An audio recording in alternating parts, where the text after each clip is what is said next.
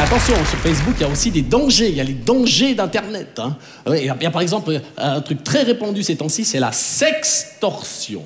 En gros, pour ceux qui connaissent pas, la sextorsion, c'est tu fais des cochonneries devant la caméra de ton ordinateur et après on te fait chanter. hein. Généralement, après tu fais mais quel con et là, tu passes de la sextorsion à la contorsion.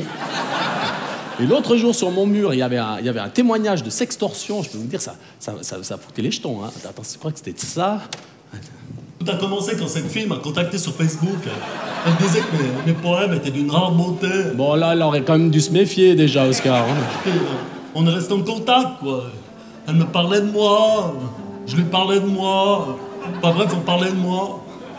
Puis un jour, elle, elle a commencé à se déshabiller devant la caméra.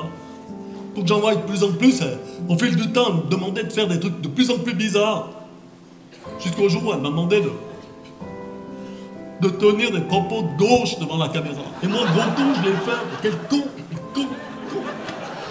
Alors forcément, après, elle m'a fait chanter. Elle me disait que si je lui versais pas mes indemnités de, conseiller d'État, elle balancerait la vidéo sur les réseaux sociaux. Donc vous imaginez moi qui tiens des propos de gauche sur les réseaux sociaux, mais si Ma- Marine Le Pen tombe là-dessus, mais moi, ma carrière d'extrême droite, elle est foutue, quoi.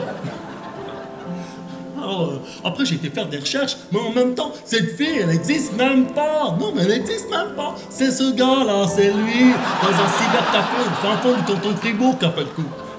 Non, faites attention, hein. Faites attention à Internet, hein. on sait jamais qui se cache derrière. Euh, un témoignage poignant. hein.